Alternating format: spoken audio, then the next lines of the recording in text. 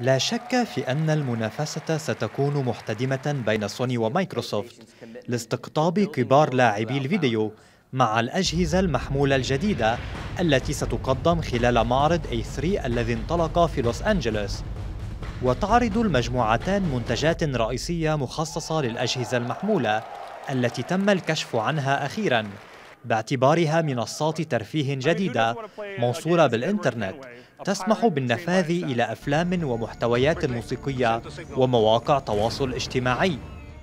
وكانت سوني قد كشفت النقاب الاثنين خلال مؤتمر صحفي عقد عشية إطلاق المعرض عن جهازها المحمول الجديد لألعاب الفيديو المعروف ببلاي ستيشن 4 والذي تعتزم طرحه في الأسواق خلال موسم أعياد نهاية العام الحالي.